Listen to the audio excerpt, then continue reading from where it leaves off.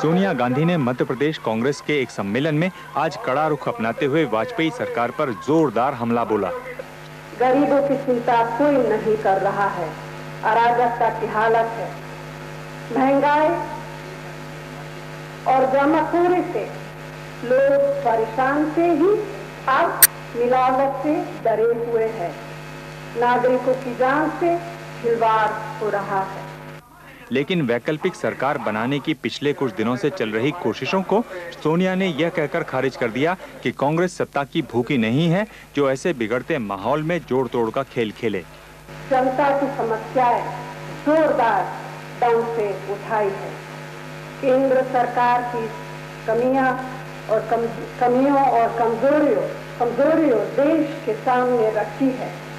हमने ज़ोर शोर से सरकार बनाने की कोशिश नहीं की। जिनको सत्ता का बहुत शौक था उन सबने इकट्ठा होकर एक सरकार बनाई। ऐसे में कांग्रेस को मज़बूत बनाने के लिए सोनिया ने पार्टी में भीतरी गुटबाजी फ़ौरन खत्म करने पर भी ज़ोर दिया।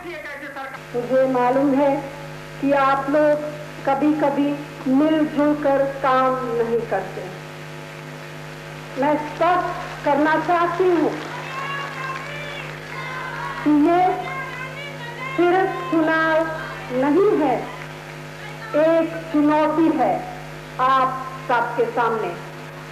उन्होंने उम्मीद जताई कि मध्य प्रदेश में उनकी इस अपील का असर होगा और साल के आखिर में होने वाले विधानसभा चुनाव में पार्टी को जीत हासिल होगी।